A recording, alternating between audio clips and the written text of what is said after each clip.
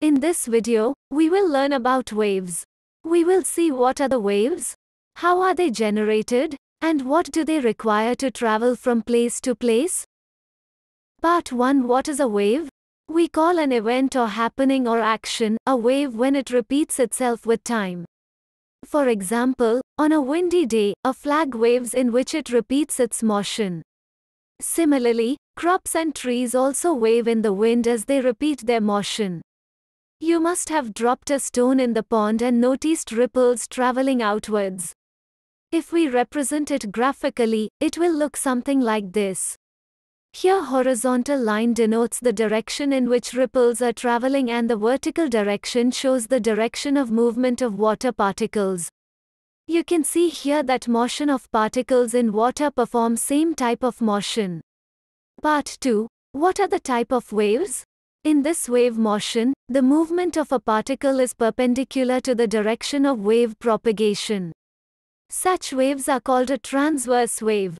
There are waves in which particles move in the same direction as the wave, such waves are called longitudinal waves. Compression and rarefactions in spring is an example of a longitudinal wave. Part 3 Wave is energy. In waves, particles do not travel with a wave, Instead when a wave reaches them, they perform certain movement and when a wave passes away, they come back to their natural position. You can think of the wave as the traveling form of energy. When you throw a stone in a pond, you impart some energy to the water particles, this energy gets transferred to other particles in the form of a wave and as the energy reaches faraway particles, they perform a similar motion as the nearby particles. Everything around us can be understood as wave.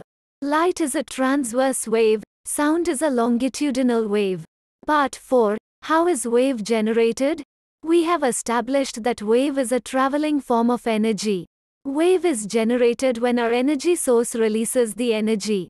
This energy can be passed from one place to another by medium particles or carry out by particles emitted by source itself. For example, when we speak, Due to force of muscles, particles around the mouth start vibrating. These vibrating particles then cause nearby particles to vibrate.